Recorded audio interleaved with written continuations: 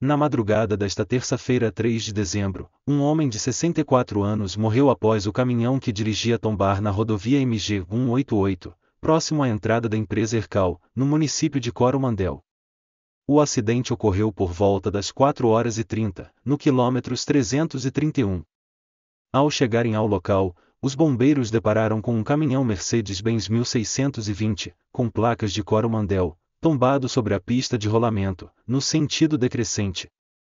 Segundo a Polícia Militar Rodoviária a guarnição constatou que o caminhão transitava pela rodovia MG 188, no sentido Coromandel a vazante, quando o motorista se deparou com uma árvore caída sobre a pista de rolamento.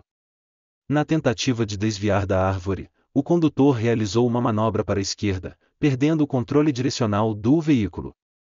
O caminhão em seguida colidiu com uma placa de sinalização, existente no sentido crescente, tombou sobre a pista de rolamento e colidiu novamente em um barranco localizado na área de domínio do DRMG, no sentido decrescente.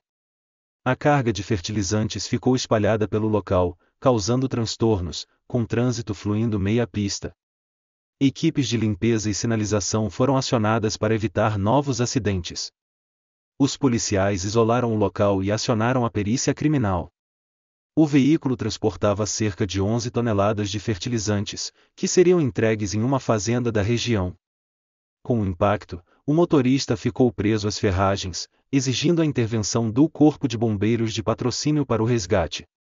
No local, já se fazia presente uma ambulância do SAMU da cidade de Coromandel que constatou o óbito do condutor. Um rapaz de 30 anos, que estava como passageiro, já havia sido socorrido com vida para o pronto-socorro de Coromandel. O Corpo de Bombeiros realizou a supressão da árvore, sinalização e segurança do local até a chegada da PRV. Após os trabalhos da perícia técnica, foi realizada a retirada do corpo da vítima com utilização de técnicas de salvamento veicular pelos bombeiros.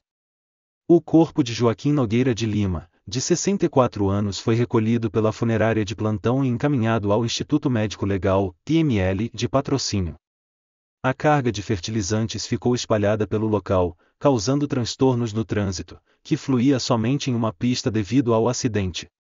Equipes de limpeza e sinalização foram acionadas para evitar novos acidentes. Após a necrópsia no IML de patrocínio, o corpo da vítima foi liberado para a funerária São Vicente de Coromandel, onde será sepultado.